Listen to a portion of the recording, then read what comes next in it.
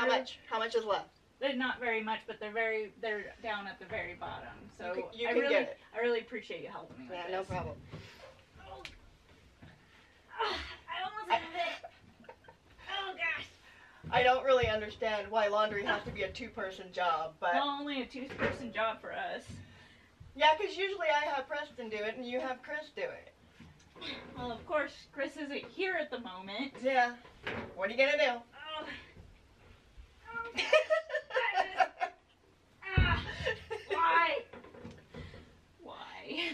I can't get it. you can't. I don't know. It's a good view still of recording. my butt. We're gonna act, make sure we put that in the bloopers. I hope you know.